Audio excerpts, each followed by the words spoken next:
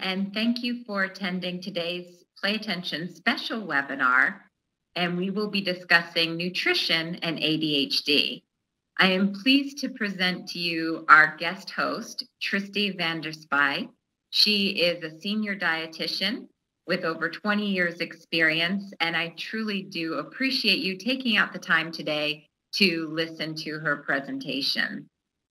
A couple of things I want to mention. We are recording this event. So at the end of the webinar, you're going to receive an email which will have a link to the recording, which you can share with other staff members or other family members who weren't able to attend the live event. Also, if at any time you do have questions, please type your questions in the Q&A box found at the bottom left-hand corner of the screen. Now, we do have a large audience today, so Tristine may be uh, answering your questions as she proceeds through. However, she may also wait on some of your questions and do a Q&A time at the end of the webinar. So don't worry if your questions aren't answered right away, we will address them at the end of the webinar. If you do lose connection at any time, don't worry. As soon as your internet resumes, you'll be able to log in and uh, pick up where you left off. Again, thank you everyone for being here and type in your questions as we move along. And I will now present you and turn you over to Tristie van der Spuy. Bye. Thank you, Gwen. It is a wonderful privilege for me as a South African to have this webinar with a lot of your colleagues and also friends and members um, in America, and I believe there is also a lot of South Africans that's also attending today. The webinar actually has been asked to talk about nutrition and the wonderful work that I, as a dietitian, are doing. And just to remind each and everyone that we as dietitians are also human beings and we are also naughty sometimes and that is why we can learn our colleagues or from our colleagues, but also for each and every one of you, how to take the knowledge of today and implement it in your household. For mums, um, I just want to thank each and every one of you um, connecting with us, sharing the information. Um, this is coming from my heart. Dietitian is my passion and it's wonderful to share this knowledge with each and every one. Um, firstly, it is for me a wonderful start to say that it is a chronic condition, and I think a lot of times um, people think it's something that can stop some other time. One of the articles that I've read now in the past three days with new information tells us that there is about a third of, or almost 11% of the young ones in America between the age of 4 and 11 years of age that are struggling with ADHD. A third of these children can outgrow the ADHD. So that is wonderful news so that we don't need to stay with the chronic condition the stats also show that 4% of the adults in America have adult ADHD. And sometimes I think um, it's maybe better for the adults to continue with the ADHD because they can learn with coping mechanisms. I think the most important thing is the combination of persistent problems where we struggle with the little ones with continuing focus. Um, they've got no attention to details. Um, they are easily distracted, and I think it takes quite some time from a parent to teach their children to continually listen to what requests and orders is being given because they don't focus and they don't um, do the exact thing that's been asked from them because they can't remember. So keep that in mind for your little ones because they are so precious and not remembering can make us furious. But remember that with the ADHD, it's really a concern um, with the little ones. They get bored easily. So it's as if their concentration span is not that good. They struggle to continue um, and complete tasks that's been given to them. And they've got difficulty in remembering things. I went to a colleague and she asked her ADHD child um, over the weekend to fetch her her ring. And it was so precious that when he came at the door, he forgot what mommy asked. And um, that is something to laugh at, but it's also a serious matter for being with a child in your house that can't remember if you have given him a specific task. Difficulty in following instructions is also a problem. And then hyperactivity and impulsive behavior and also careless mistakes. I just want to pop in with the second last one of hyperactivity. And I think this is where a lot of us will think that um, the nutrition and the right diet will actually prevent ADHD, but it can never. Um, the ADHD is a disease, it's been made, but if we can make the right decisions on the food, then it is important that you can actually help your child to have the hyperactivity um, not as much. If we have a look at adults, I think the three major categories is inattention, hyperactivity, and also impulsivity. The main important thing that I want to stress at this moment is how it can affect you as an adult in a company. Because in the corporate world, if you have not an attention span, it is very difficult to follow orders, um, to complete tasks, and also to benefit um, to the company or be rewarded at all. Hyperactivity can be a problem even if we have a meeting and somebody in the group is ticking or scratching or fidgeting all the time. It can be some sort of a disturbance. Um, impulsivity is also a problem, especially when we are in the corporate world and making decisions and you have done something without even consider what is the long-term consequences. The medical nutrition therapy, um, I don't want to talk at all about medication because that is something that we as South Africans use a lot. Um, as you know, we will use antibiotics for almost any bacterial or infection. So I want to go further to the last part of diets, and that may reduce symptoms of the ADHD. Now, the supplementation is something that I will focus on. And then also the Feingold diet, I will just shortly mention some of the information. Quite interesting um, to deep a little bit into that, that I'm not going to do. Then also the restricted elimination diet, and then also where we control the intake of sugar. And with that, I will also mention a little bit more about the low GI, the intermediate, and the high GI foods. Then also the ketogenic diet, um, last but not least. The side effects of the medication that we experience quite a lot is weight loss, suppression of height, and then also the gastrointestinal systems, um, suppression of their appetite, a dry mouth, diarrhea, constipation, nauseous, and also vomiting.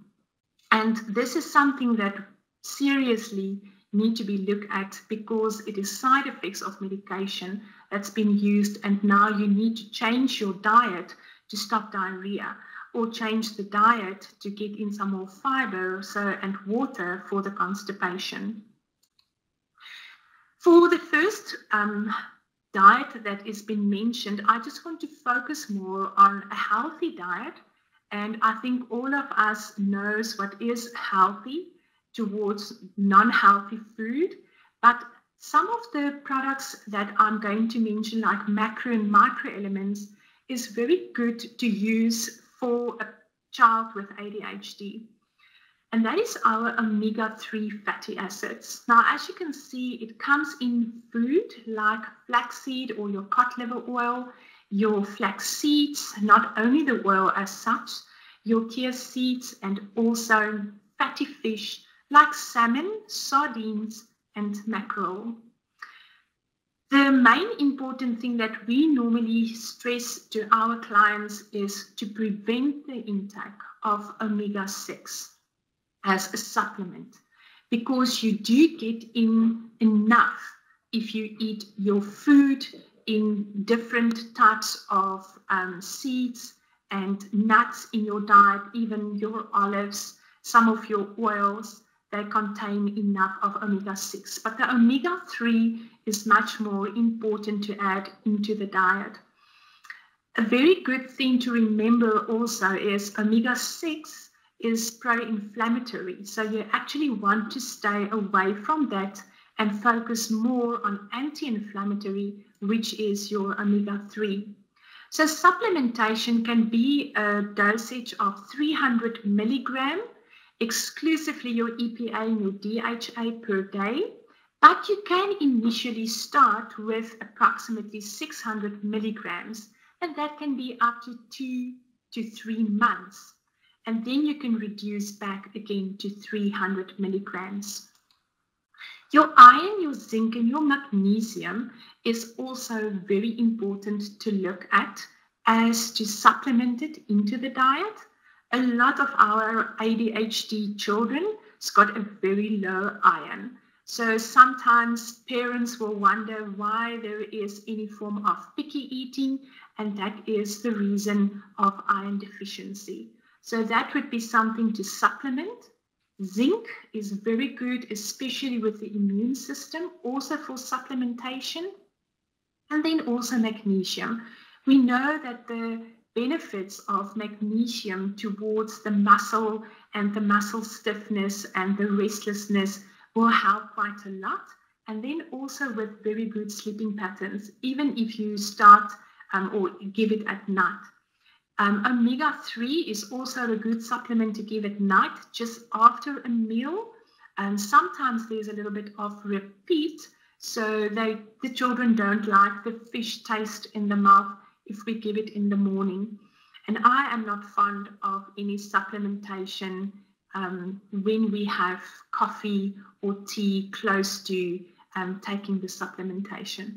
So, probably at night, it would be preferable to have a meal um, without any coffee or tea after that, and then you can do the supplementation.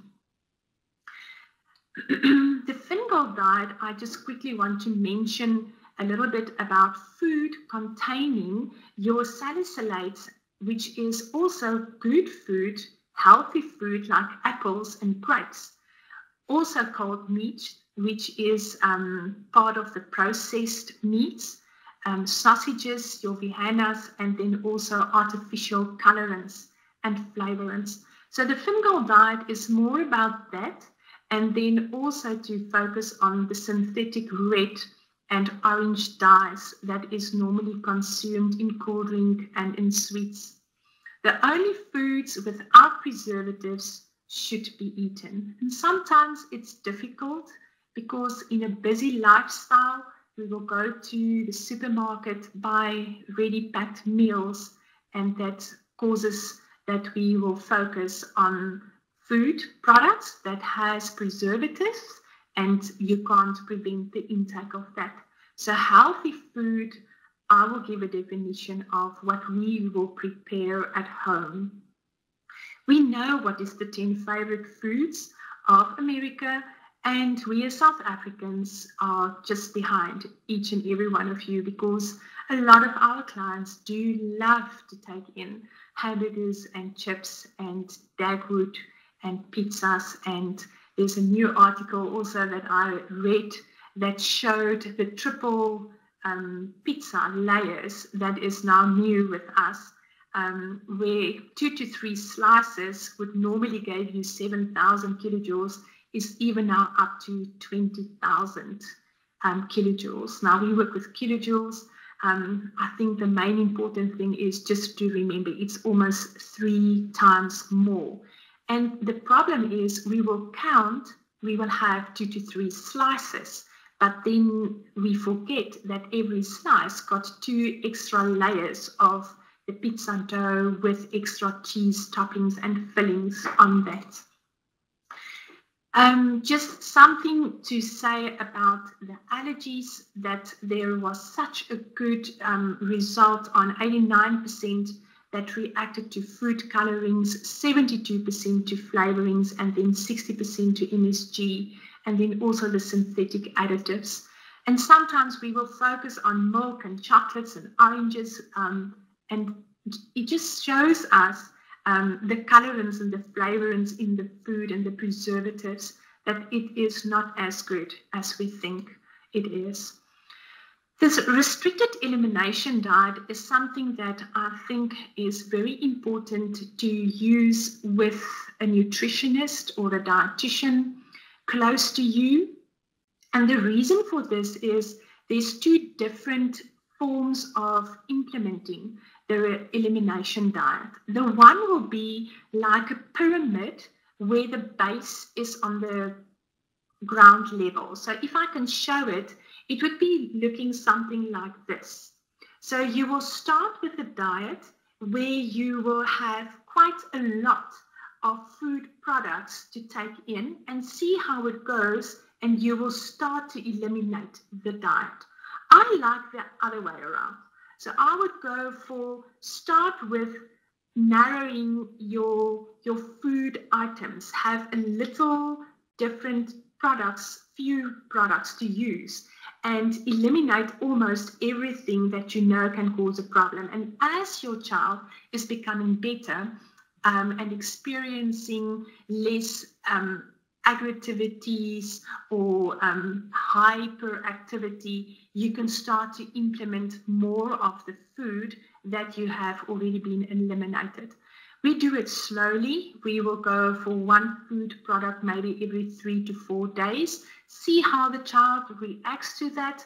If it is not a good reaction, we will keep away for it for another couple of weeks and try something else in the diet. Um, I think the main important thing is to look at two to three weeks for the period of elimination. Um, and that would be specifically the food um, products that you know um, is a problem to your child. Um, what we normally tell our patients is tell us what is the food that they like the most. So that would be the food products that you will start to eliminate first. Um, and it's easy because if you ask a child, um, what does he nibble on? He will tell you chips. Or um, what is his takeaway food that he likes? And he will tell you he likes pizza. Or maybe you will ask what types of food are in the house and do you use a lot of potatoes and um, maybe bread or any other part of cereals that your child likes to eat two to three times during the day. That would be the food products to start to eliminate out of his diet or her diet first, and then slowly see how it goes for the two to three weeks and try to implement that again. The main important thing with um, sugar and aspartame that we learn um, as dietitians in our practice is a lot of our moms um, change from sugar to any artificial sweetness. What I don't like is what I normally ask the parents Did you ever see in your life uh, somebody drinking Coke Light that is thin and skinny? Well, I didn't. So I normally ask my parents to go back to normal sugar intake but to be more aware on what is in the products that they buy. So I teach my patients carbohydrates and I teach them the importance of counting the carbohydrates in the food. And then we also will focus on one teaspoon of sugar will have five grams of carbohydrates. So if they will buy something like quick noodles, then they will go and have a look on the back of the um, packet what is the amount of carbohydrates per packet. So normally the table will tell you per 100 gram and per um, serving. So we will look at the serving size and if it counts to about 75 grams of carbohydrates per quick noodles for the serving, we know that, for example, um, one slice of bread is 15 grams of carbohydrates. So the 75 will count to about five slices of bread. So that would be an easy way to um, inform our patients about what is in the food that they are eating and how to take it back to, for example, a slice of bread. Because it's easier to ask a mother, do you think your child will ever sit down and have five slices of bread per meal or per sitting? And that will never happen. So, but they will easily sit down and have a packet of noodles. So that would be something to look at to make it easier for the mother to understand um, calculating the carbohydrates. The other problem with the artificial sweetness, it causes quite a high acidity in the body. So maybe not as much for children, but for adults, they do struggle with um, joint pain and inflammation. So that is something that you want to prevent as far as possible. Um, Gwen, you can move to the next slide. This is my favorite because this comes back to what we as dietitians do. Um, on the left side of the slide, you will see that there is a spike of a red arrow going up and then down again. This is part of the glycemic index. So what it actually say is um, you will focus on food products that you will take in consume and it will give you quick energy. But in the next hour and a half, we say normally about 90 minutes, you will have a very quick drop in your glucose levels. You will feel fainted, exhausted, um, tired, cannot concentrate. And we see that a lot with children having a breakfast, for example, Milo Pup or Rice Krispies, and then they even add milk and sugar to the cereals in the morning. Round about half past eight, nine o'clock, the teachers just can't stand with them in the class because they are fidgeting, they can't sit still, they're talking with one another, they don't focus. the other slide um, or other um, side of the slide, which is more the green, you will see that it's food products that's actually giving you sustained energy. And it's such a beautiful word because when you eat those food, it will give you energy for so much longer. So it would last far more than the 90 minutes and take you even up to about three hours. Um, you will feel longer and it will also um, end up at the end of the day that your child or even you as an adult will eat less.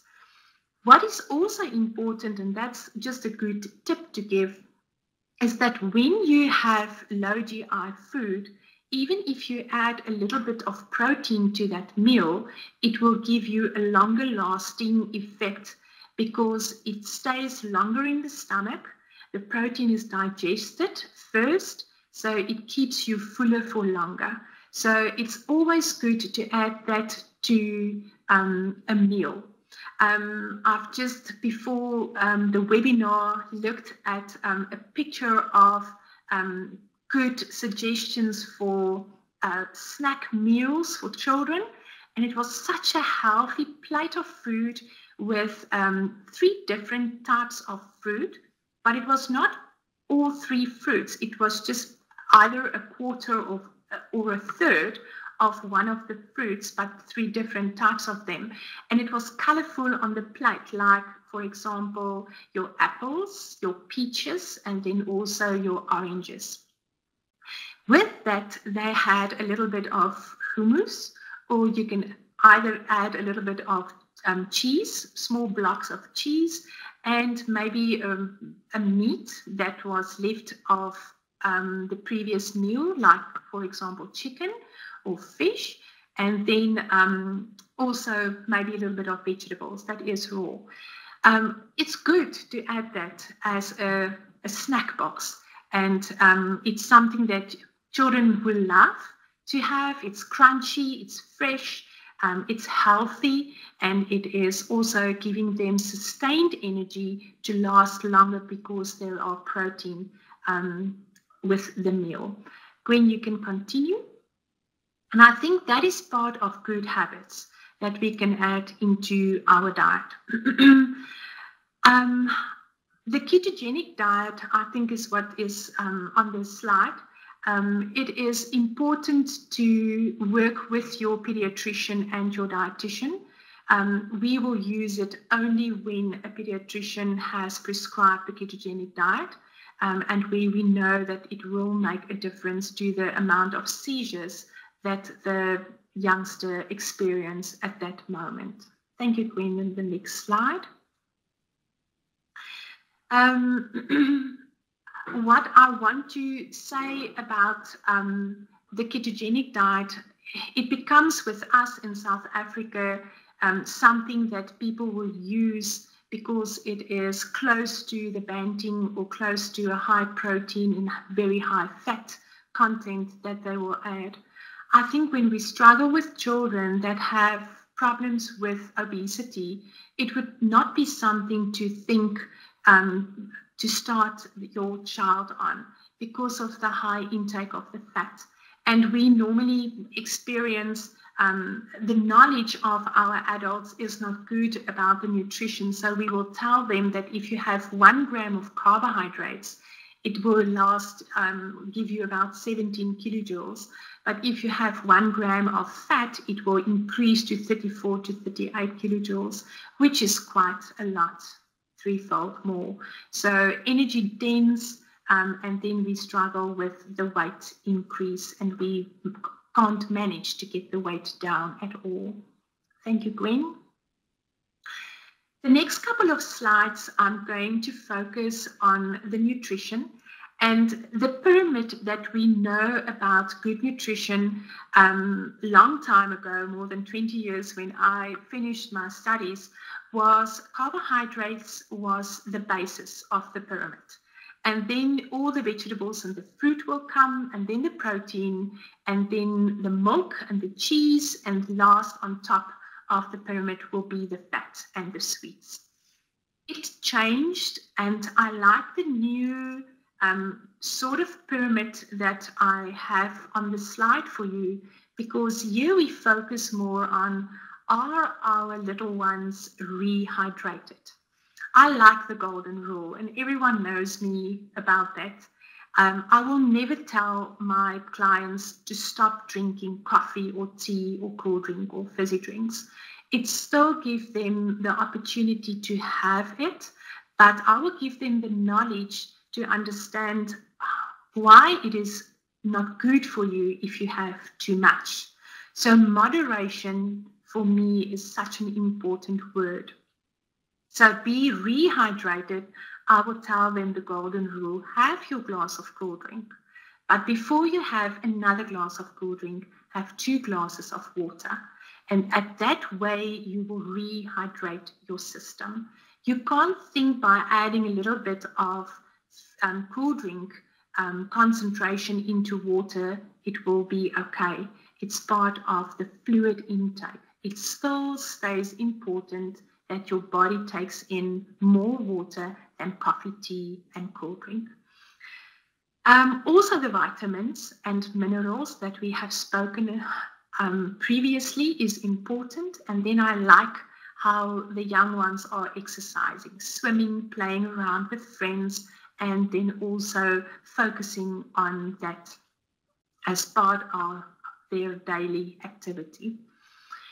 Then the second per, um, platform of the pyramid will be the protein. And the reason for that is good, healthy protein, especially animal protein, is good for a feeling of satiety. So that would be something to add with either your three main meals or with the smaller ones as well, if you would like to add um, cheese or um, dry meat, or even if it is cottage cheese, um, for example, as an in between snack. I love legumes, so that would also be something that I will give to our patients.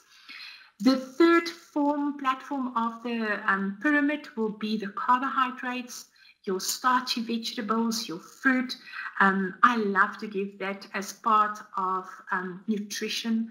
We focus more on healthy um, whole wheat whole wheat products and then also your veggies. And sometimes we experience that a lot of the children don't want to eat vegetables because the only way the mom has introduced it to them was when it was cooked or baked or um, not as they would like to have it fresh and raw. So it's good to listen to your child um, and to introduce him to different varieties of taste. Um, the fourth part of the pyramid is then your um, milk and your um, fat and your sweets. That is the last part. Um, and there's always space for that. I think as human being, it's good to say that we may, but it comes to the portion size. One of my colleagues will always say portion distortion. And I think if that would be something that you will take home, it would be good to know that we may, but what is the amount that we introduce to our children as a portion? Thank you, Gwen. I also think it is very important um, to have a look at the plate. It's something to keep in mind to take home that you will always remember that there's not a no to a product or a food item, but it is the question is is it really worth it? So sometimes we are um, in craving for something sweet but we specifically know that we would like to have an apple pie. Then we will go to our favorite restaurant and there's no apple pie and we will have a carrot cake, for example. It's not what you are craving for. So it was not worth it. If you remember that it is such a good message to take home, if you have a look at the plate, you will see that half of the plate is actually fresh vegetables and fruits. And if it is that your children is eating cooked vegetables, wonderful. If they want raw vegetables, introduce them to the raw vegetables. But keep the plate in your head so that you will always focus on having a quarter of your plate as starch and a quarter of the plate as protein. Now, I'm laughing a little bit because if we have a look at hamburgers and chips, it is almost three quarters of the plate starch. Um, I think the tomato slice on the hamburger patty will be the inner part where we say it can be fats and oils. And then the meat portion will be a quarter of, of the plate size. So that will just give you a little bit of an idea um, where our focus is on a plate of food. And then the dairy on the side, um, we always tell our patients be careful for yogurt.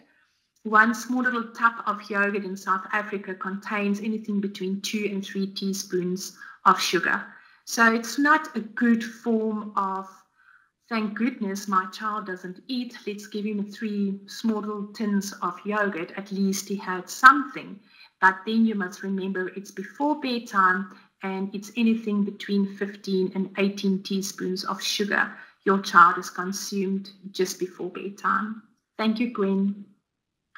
I think that is something to take home because we will start the day off very good. And then at night, um, the children want to eat sugary stuff because they didn't have enough carbohydrates during the day. Now, carbohydrates is one of the three macro elements, as protein and fat we will come just now. The main important thing here is to have carbohydrates in your meal planned as part of your plate, a quarter of the size, very important to make sure it's low GI. That is also part of high fiber food that we take in, and we know that with fiber, we will always want to add more water because it helps with the absorption, it helps also with the bowel movements and prevent our little ones from constipation. There's a few um, examples that I have given on um, carbohydrates, what is better choices to have. Um, something that I want to explain um, if your child likes Milo Pup, um, it's not a problem, but maybe give a little bit less Milo Pup in the morning with milk. Try to stay away from the sugar that's been added to it, and maybe have one slice of low GI bread with an added scrambled egg or a egg um, uh, that you can boil and give that as breakfast. Then you have the Milo cereal, which is a high GI, a little bit of milk, which is low GI, your low GI slice of bread, which is low GI, and you add a little bit of protein to that meal specifically to keep your child fuller for longer and a better concentration thereafter. Thank you, Gwen. The next slide, we will continue with proteins. Um, I think what is very important there is your animal proteins, but that we never forget about the plant proteins. Plant proteins to add with meals are such a good form of fiber and also a feeling of fullness.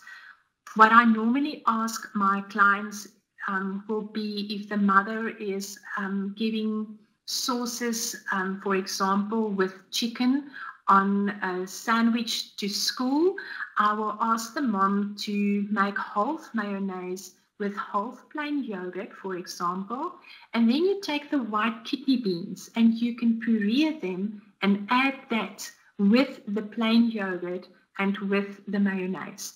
So the child, and you start slowly with that because if you do it right from the beginning, half half, your child most probably won't eat the chicken mayo bread because it doesn't taste the same.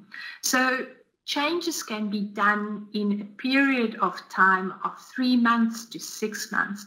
At least you know as a mother that you are implementing better food habits at home. Why I'm not fond of processed meat is because of the high fat content and also the high salt content. And the little ones, especially when they are in the age of three, four, five, and we give them processed meat, it's quite a problem to the kidneys and they don't drink enough water. So we will give them fizzy drinks or um, cool drink or juice because we think juice are healthy. But we struggle in South Africa with the contents um, of juice and the amount of juice that the little ones are drinking. So again, try to implement the golden rule by giving a glass of juice, dilute that with double the amount of water, but that would be the amount that your child will have. So start with a third of the juice in a glass and two thirds of water. And then slowly you actually implement a better lifestyle, eating style for your children. Eggs are also very good sources of protein, and it's a very nice way of eating it for maybe lunch boxes or even for lunch or even for breakfast. Thank you, Gwen. The last slide then on the three macro elements will be fats. I still want to add fat into the diet because there is a lot of fat soluble vitamins that need to be absorbed and this is one of the main reasons that I will always add some sort of fat into a meal. So it can either be a form of oil or um, it can be avocados or even olives um, and nuts. Um, normally, I would go and ask not to have a whole snack of eating only nuts, but be careful and maybe have a fruit and about 20 minutes later, you can top up the fruit with the nuts, which is a good example of an apple that is a low GI fruit or any other acidious fruits that want to be taken. And then about 20, 30 minutes later to top that meal up with protein and fat. Because you know that that will give your child a little bit of fullness, satiety feeling, feeling full for longer. And that is what we would like to have by adding the nuts then after having the fruit. Um, I think very important with the oils, never to go to heating it as such because of the high temperatures, the changing of the molecules of the fats, and then also um, the trans fatty acids that we do um, get quite a high content in our dried chips. Um, it's so easy to give our children dried chips um, because it's um, comfortable, it is a quick meal, it's um, something to keep them quiet for until the food is ready. But try to keep that as a special treat. So when you do some sort of activity, um, have it as a treat after the whole family went out for cycling or um, activity on a Saturday. thank you, Gwen. The next slide. I think to concentrate on healthy meals makes it easier to remember that we stay human beings, that we do portion control, and that we will eat only when it is worth it. The next slide that's on the screen is more about um, better alternatives. And um, it's just something to make sure that if we have something like a pastry that we want to give our children, rather focus on making your own at home than buying with all the preservatives that's in it. And something like pizzas, um, making fun on a weekend with your children by making your own pizza base, adding your own toppings, and put that in the oven and everyone is waiting for the pizza. And while we are waiting, everyone is becoming hungrier. So have a salad that is ready and prepared and everyone can help to make it and have the salad before the pizza is ready. That is just an example of being human being and be a mom in a house where everyone is going to ask, why can my friend have pizza and we can't. So it's just an example by making it yourself. Even if you do pies, um, make your own patties, fry your own patties, and make your own hamburgers at home. It's not necessary that we always need to focus on chips. You can go for um, raw sweet potatoes and you slice them as the same slices as we have chips, but you can eat it raw, which is as part of raw vegetables that they can have with that meal, and you can make a nice salad with that. Um, I love to focus on breakfast. So we will normally ask our clients if the children is not eating enough for breakfast, that we will focus on making a fruit um, shake for them, and then we will add um, cereals like ProNutro or even Future Life into the shake to give it a little bit more of carbohydrates and also vitamins and minerals. Thank you, Gwen. I'm not fond of a microwave, and I think it's something that we use a lot because it's convenient, it's quick. But if you can have um, maybe some more family time, focus on what you can do at home in your kitchen with your family and make a very nice event of that. Thank you for your time. It was wonderful talking to you, and um, I'll give over to Gwen now.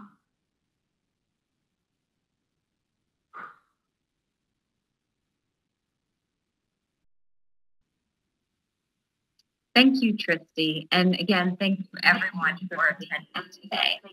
If you do have additional questions, I see that some you had some comments, but if you do have additional questions, please continue to type them in as we finalize the webinar. Uh, Natalie asks, is future life okay? And I'm not really certain which part she was referring to there. Yes, Future Life um, is the cereal that we can use. Um, we would rather give it as a drinking pup in the morning because a lot of our mothers are in haste. There is not enough time for breakfast.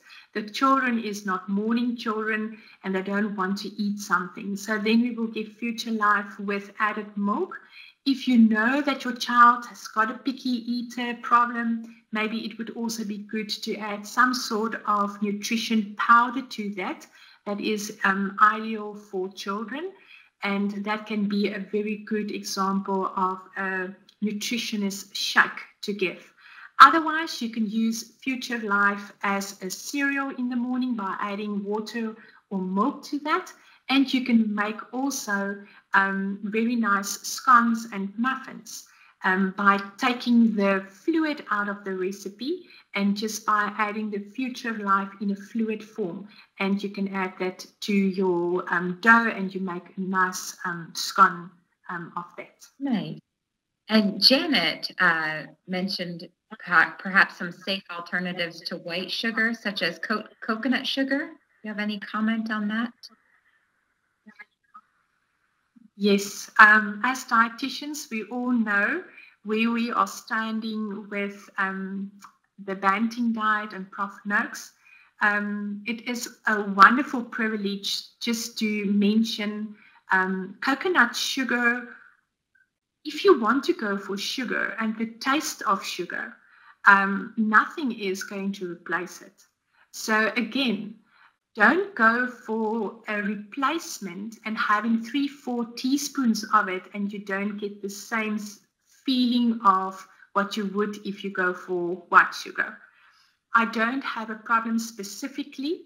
Um, we are addressing as our patients' needs are, but personally, as a dietitian, I will never prescribe any form of coconut um, to my patients. Thank you.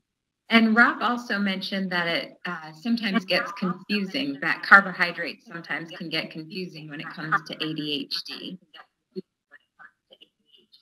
And he asks about. Yes, um, Rob. Go ahead.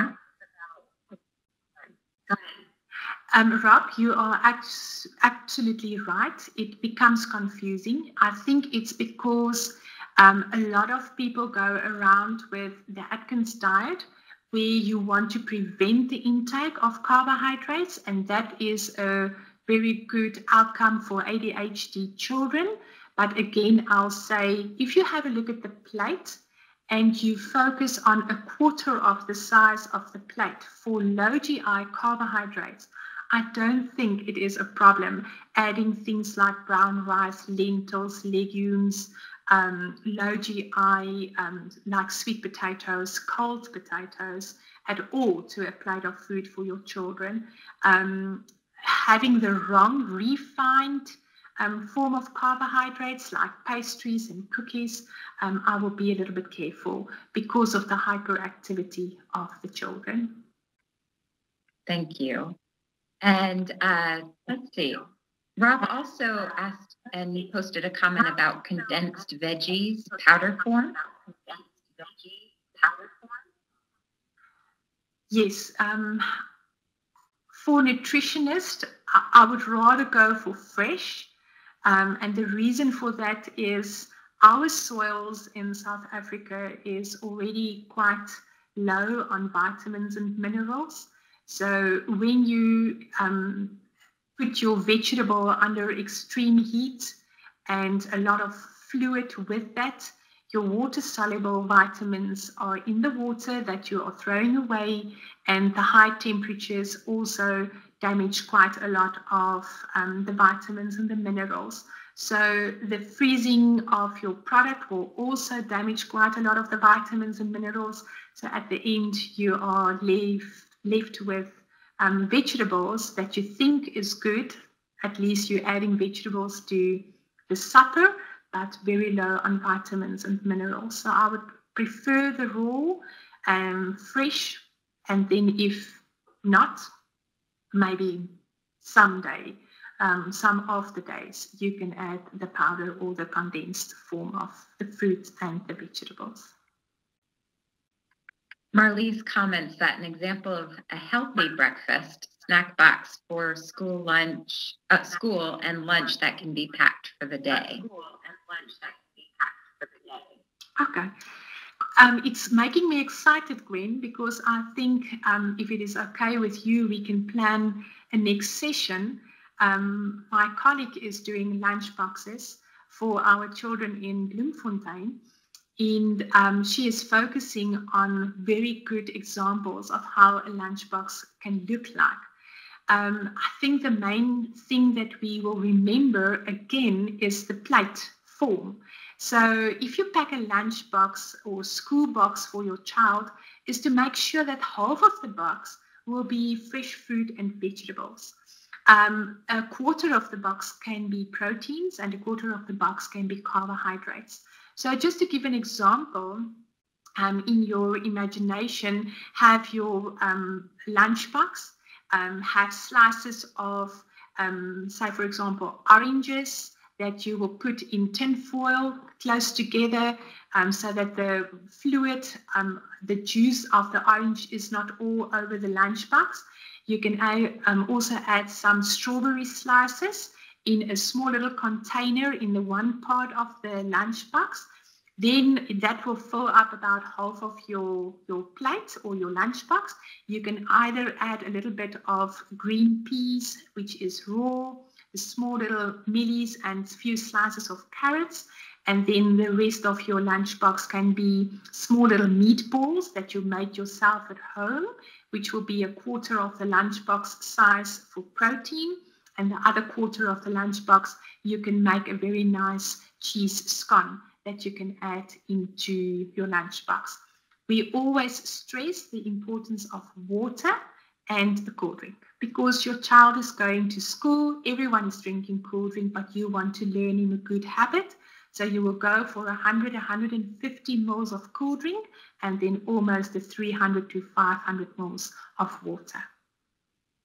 Excellent. And that would be a good follow up session back to school special about school lunches. Albert has two questions. The first is your opinion of coconut oil.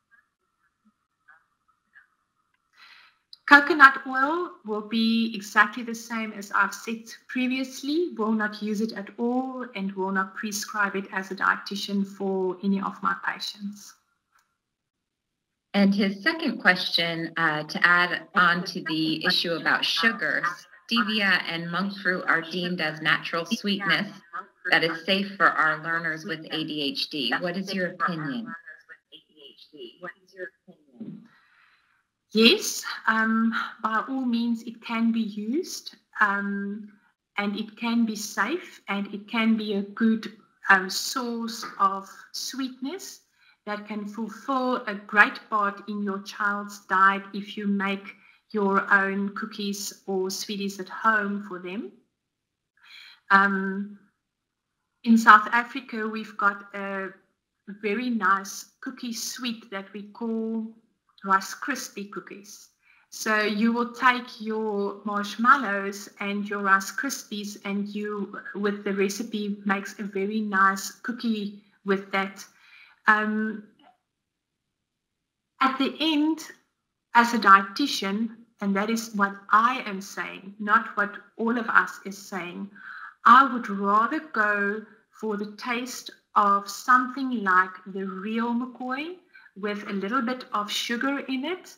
Take the recipe, change the sugar content from three cups to one cup, and make that as um, a recipe and something nice to eat for in between snacks for my children, than to go and add, take the sugar away and add the sweetness to um, the recipe.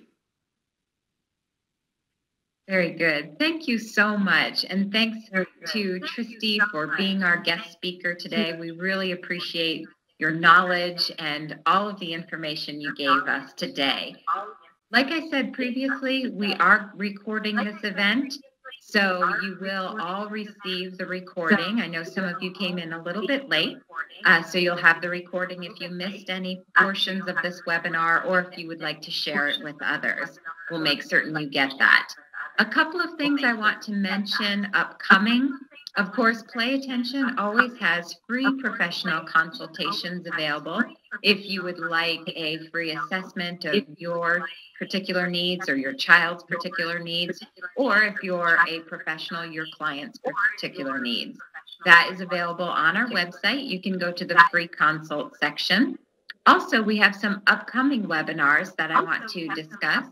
On June 28th, which is tomorrow, we are going to have a special webinar uh, introducing our new Play Attention BioLink Attention Training Centers. So if you want to learn more about that as a professional option, be certain to go to our website and click on the webinars tab to register for that event. Again, that is tomorrow at noon Eastern Time. On July 10th, we'll be talking about six steps to take this summer to improve executive function. So if you need a little bit more about play attention and how the play attention system works and how play attention is specifically designed to improve executive function and self-regulation, that is a great introductory webinar for you to attend on July 10th. Also, on July 17th, we're also going to have a guest host, and he will be discussing mindfulness techniques and ADHD. That one is not yet posted on our website, but should be within the next week. If you have any additional questions, please do feel free to keep typing them. I'll make certain that all of your questions get to Tristie. If you have more questions once you receive our email, please do type them in and we'll be happy to address your questions specifically. Thank you everyone for attending today. Thank you, Tristie, and we look forward to speaking all of you very soon. Take care, everyone. Bye-bye.